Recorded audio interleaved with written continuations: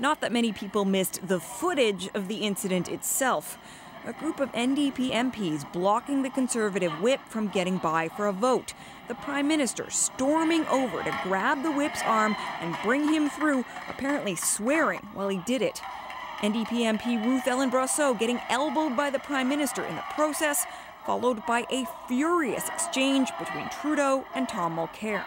I expect better behavior of myself. There's not a workplace in this land where an employee at work would be subjected to their boss, the CEO, coming into their place of work, being physically touched and moved along. There were also more extreme comparisons. The offender never intended to hurt somebody. A drunk driver never intends to kill people. In fact, the debate about what the Conservatives called the physical molestation of the NDP MP went on for hours. I made a mistake. I regret it.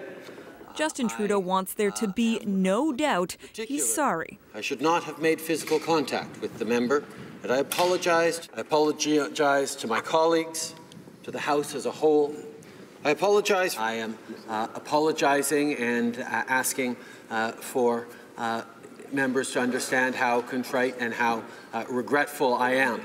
And he added apologetic tweets, just in case anyone missed the message.